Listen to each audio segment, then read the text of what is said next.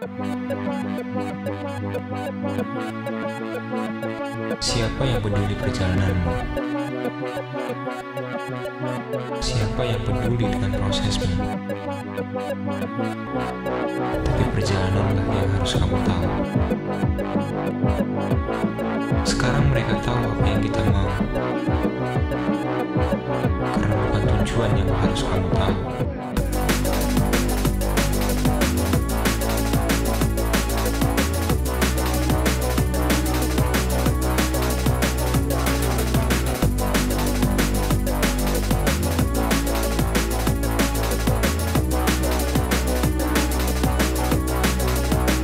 TV lah yang kamu mau.